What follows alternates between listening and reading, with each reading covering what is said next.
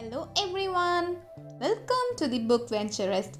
Wish you a happy new year. In the previous chapter, we saw Margaret and Sir Andrew arriving at Calais to find Sir Percy.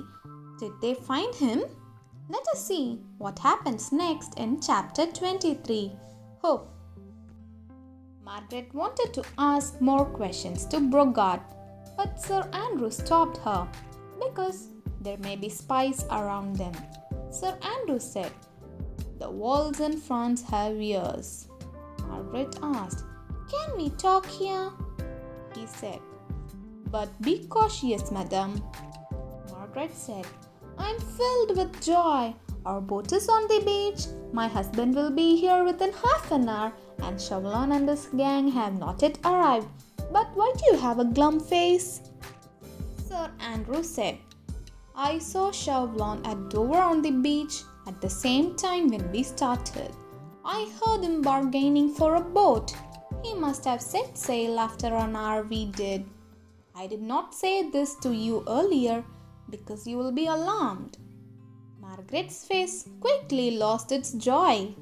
Chauvelin already knew the plans where Armand, Comte Tournay, and other fugitives would meet today. Mostly, it would be at a place called Pere Blanchard's Hut. Sir Andrew said, Chauvelin knows this place from the papers he stole, and after landing, he will come straight here. Margaret said, We are early by an hour. Percy will be here soon, and we will be on the boat to England when Chauvelin will be here. Sir Andrew said, Do you think Sir Percy would leave Calais without completing his mission?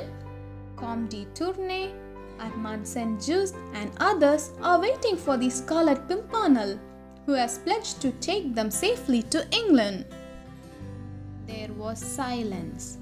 Margaret buried her face in her hands and started crying because she was being selfish, thinking only about her husband's safety, but totally forgot about her brother Armand. Margaret said, You are right. We should not waste time. You go to find Sir Percy and warn him. I will wait here. This will save our time. Sir Andrew said, But this place is dangerous, madam. To which she said, I do not mind. Can you ask the owner of this place a separate room for me? I can be safer.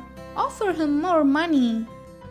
Sir Andrew obeyed her words, took some money out of his pocket, and went to find Brogard. He asked for a free room. Brogard pointed over a place in the attic which was covered by a curtain. Margaret found the place better than all the other rooms. Andrew said, Never reveal yourself to Sir Percy unless you're certain that you're alone with him, madam. Margaret said, Do not be afraid. I'll be careful. He said, If I'm not able to find Sir Percy within half an hour, I will return here. Then he bid farewell to Margaret and walked out into the night. Hope you like this chapter. Stay tuned to know what happens next.